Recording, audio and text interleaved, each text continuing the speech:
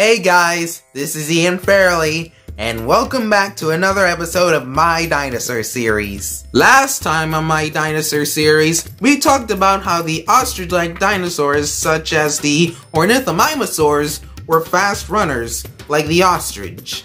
We furthermore talked about how these species came in different shapes and colors and sizes.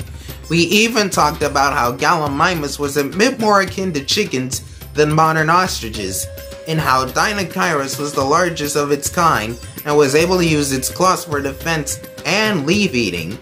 These species may have been equipped with feathers on their bodies for warmth instead of flying.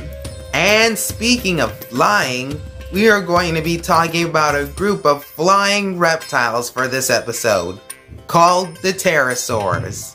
I know my series is called the Dinosaur Series, but it never hurts to talk about other species of prehistoric animals that lived alongside dinosaurs during the Mesozoic era, right? Pterosaurs are flying reptiles that were closely related to dinosaurs, but aren't exactly dinosaurs themselves. They have wings like those of modern day birds, but possibly may be featherless according to most paleontologists in the world. Similar to dinosaurs, the pterosaurs came in all different appearances and sizes.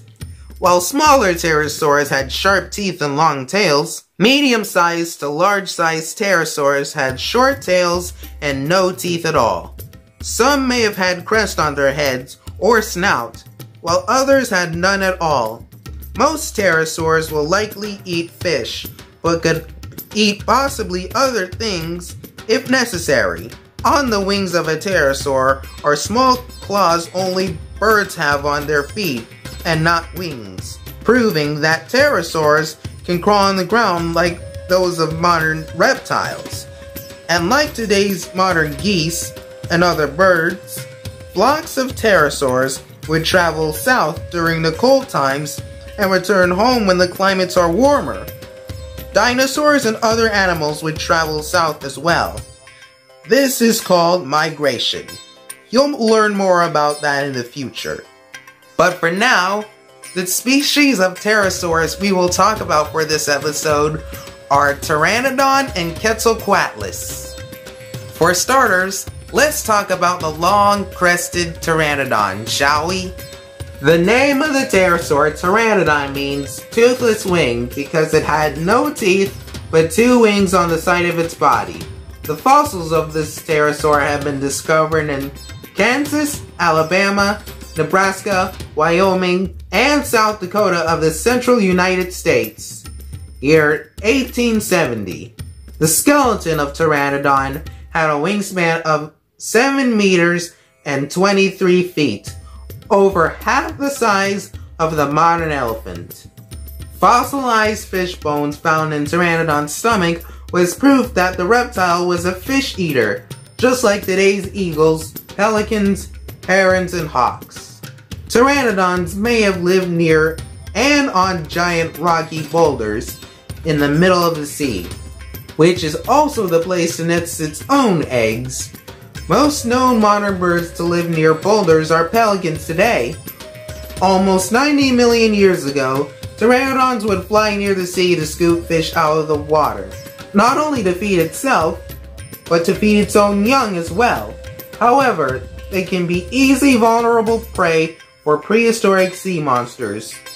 That's right folks, aquatic creatures have also lived in the prehistoric past during and even before the Mesozoic era, and also after.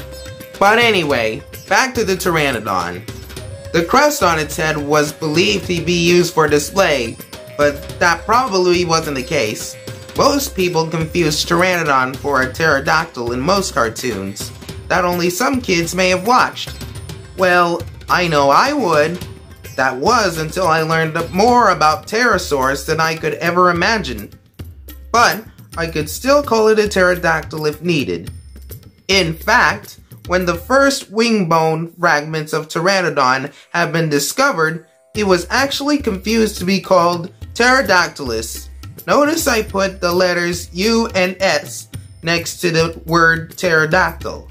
But then, six years later in 1876, the first skulls of Pteranodon have been discovered, with no teeth. Mainly the pterosaur was thought to have teeth, but that theory is false.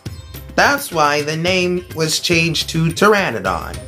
While Pteranodon was equipped for flying, it spent more time soaring through the air like a plane than flapping its wings like a tiny bird for propelling itself.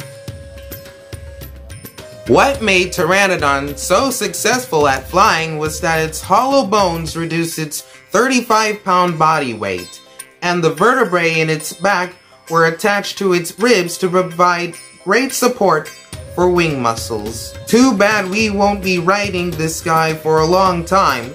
It would be fun, but at the same time it would be scary for those who have acrophobia, the fear of heights. Now that we've talked about everything you need to know about Pteranodon, it's time to talk about our next pterosaur for this episode, the Quetzalcoatlus.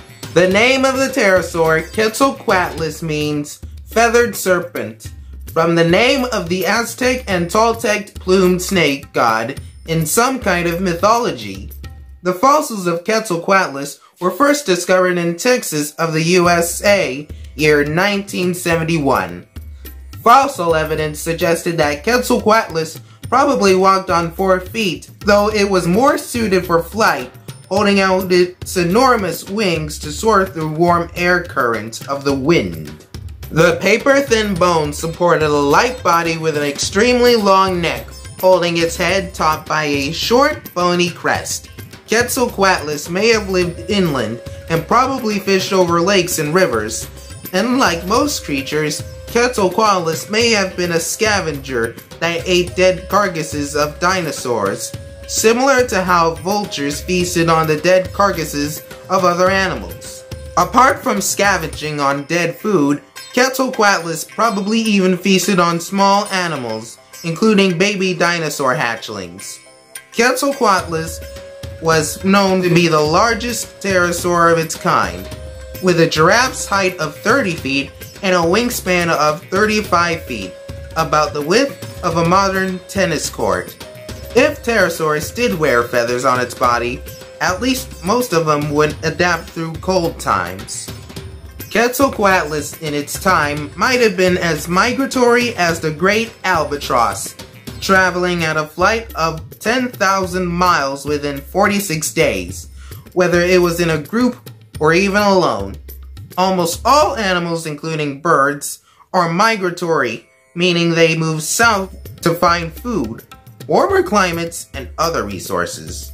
Well folks, that's it for this episode. If you like this video, please leave a like in the comment section and subscribe to this channel. Next time on my dinosaur series, we will document about a bunch of prehistoric reptilian sea creatures that roamed the ocean and came in various different species, appearances, and sizes. This is Ian Fairley, and thank you for listening.